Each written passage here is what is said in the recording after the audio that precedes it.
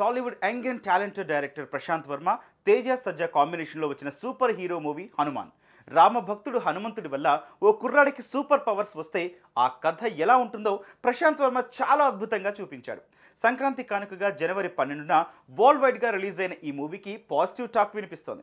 దేశవ్యాప్తంగా ఈ movie premier చూసిన ప్రతి ఒక్కరూ బ్లాక్ బస్టర్ రివ్యూ ఇస్తున్నారు. ఇక హనుమాన్ బ్లాక్ బస్టర్ హిట్ కొట్టడంతో దానికి సీక్వెల్ మూవీ ఎండ్లోనే అనౌన్స్ చేసేశారు. అది కూడా బాహుబలి లెవెల్ ట్విస్ట్ ఇచ్చారు. అదేంటో మీరే చూడండి.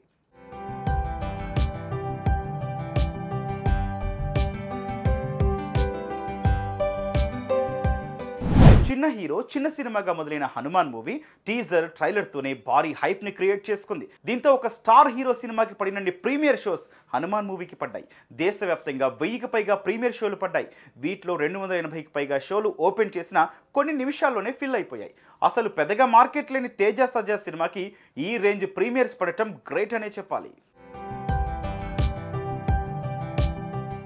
ఇక ఈ మూవీ హిందూ పురాణాలను టచ్ చేసినా కూడా ఎక్కడా లైన్ క్రాస్ చేయకుండా అందరూ అంగీకరించేలా తెరకెక్కించారు ప్రశాంత్ వర్మ. ఇక సినిమాలోని గ్రాఫిక్ షాట్స్ విఎఫ్ఎక్స్ సీన్స్ చాలా న్యాచురల్గా ఉన్నాయి.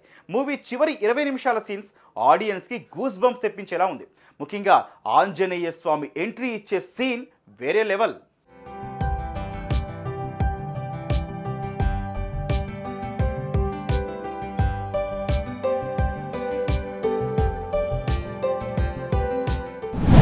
ఈ మూవీ హిట్ అయితే సీక్వెల్ కూడా ఉంటుందని ప్రశాంత్ వర్మ ఆల్రెడీ చెప్పారు.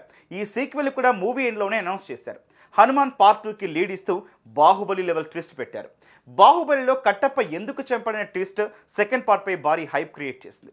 ఇక హనుమాన్ మూవీలో కూడా ఆ రేంజ్ ట్విస్ట్ ఇచ్చారు.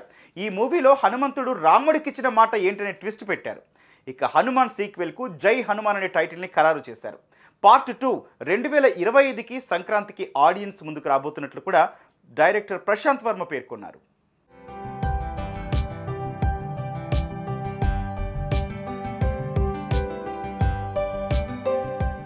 ఇక Hanuman part one blockbuster hit కొట్టడంతో సెకండ్ పార్ట్ జై హనుమాన్ పై భారీ అంచనాలే క్రియేట్ అవుతున్నాయి. గతంలో నిఖిల్ కార్తికేయ టీ కూడా ఇలానే మైథలాజికల్ కాన్సెప్ట్తో భారీ విజయం సాధించింది. ఇప్పుడు హనుమాన్ కూడా అలాంటి బ్లాక్ బస్టర్ హిట్ తన ఖాతాలో వేసుకున్నారు ప్రశాంత్ వర్మ.